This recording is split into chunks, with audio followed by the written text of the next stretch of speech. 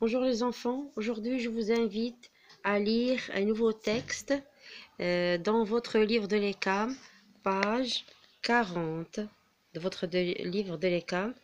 Il s'agit d'un texte narratif.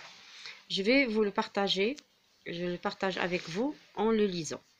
Suivez la lecture, car ce texte, je voudrais que vous entraîniez le samedi et dimanche afin d'être bien préparé à le lire oralement on va l'effectuer sous forme de contrôle oral.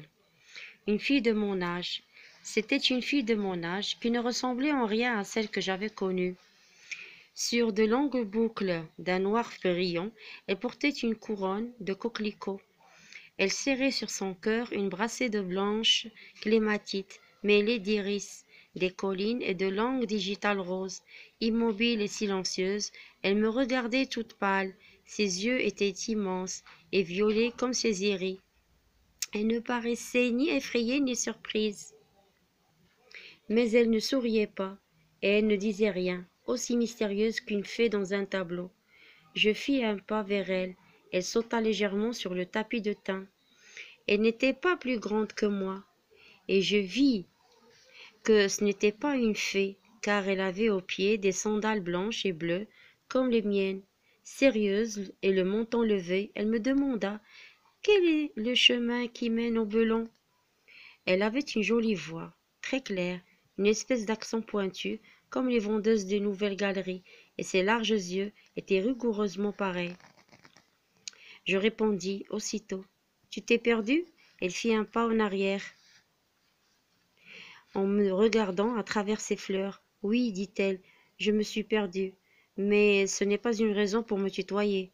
Je ne suis pas une paysanne. Je la trouvais bien prétentieuse. Et j'en conclus qu'elle était riche, ce qui me parut confirmé par la propreté et l'éclat de ses vêtements. Ses chaussettes blanches étaient bien tirées, sa robe bleue brillait comme du satin, et je vois, à travers ses fleurs, qu'elle portait autour du cou une petite chaîne d'or qui soutenait une médaille. Eh bien, dit-elle, de quel côté Je lui montrai de la main, au bout du vallon, la patte d'oie de trois sentiers? Et je dis C'est celui de droite. Merci. Je la regardai s'éloigner. Elle avait de jolis mollets, ronds, comme les riches. Et ses iris dépassaient sa tête. Ses iris, plutôt, dépassaient sa tête. Là, on parle de fleurs. Je montai vers la vigne de Nieni. Les raisins n'étaient pas encore mûrs mais après quelques recherches, je découvris trois grappes presque noires. J'en étais à la moitié de ma dernière, enfin de ma première grappe, lorsqu'à travers la haie, je vis le bouquet qui revenait vers moi. Délibérément, je lui tournai le dos et je continuai ma picorée. Je l'entendis traverser la haie, puis elle plat. Donc on va tourner la page. Psst, je ne bougeais pas. Elle recommença. Psst, psst. Je me retournai. C'est vous qui faites ce bruit? Je vous appelle, dit-elle sur un ton assez vif. Vous n'avez pas trouvé le chemin? Elle me répondit indignée. Vous savez bien qu'il est barré par d'énormes toiles d'araignée. Il y en a au moins quatre ou cinq, et la plus grosse a voulu me sauter à la figure. Vous n'avez qu'à contourner les toiles. Le vallon est assez large pour ça. Oui, mais il faudrait marcher dans ces hautes herbes.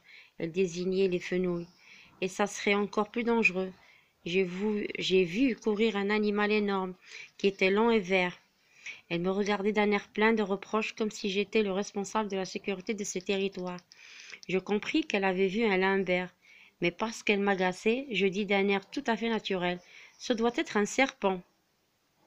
Ici, c'est le vallon des serpents. Ils se nourrissent de rats.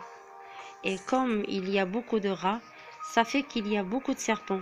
Sans bouger d'un pas, je feignis d'examiner de très près ma grappe de raisin, comme si je considérais que la conversation était terminée. Après un long silence, elle dit sur un ton sarcastique Quand un garçon est galant, il n'abandonne pas une demoiselle dans un endroit aussi dangereux. Donc, euh, Marcel Pagnon, Le temps des secrets, édition Pastorelli.